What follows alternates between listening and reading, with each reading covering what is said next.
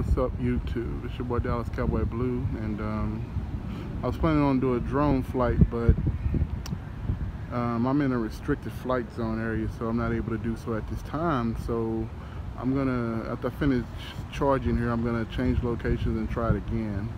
Um, again I'm right there by um, AT&T Stadium which is home of the Cowboys Life home of Texas Rangers. Again I was here a couple of nights ago trying this out and um, it's beautiful here in the daytime as well as night. There's quite a few people here for other a little um, field over there. Actually, it's right there where they, you know, have a little baseball game going on. So it's pretty nice out here. But again, I'll do another video here soon of the uh, drone flyover of the car. Get a little area view, do something different. Try that follow me function on there maybe. All right, until then.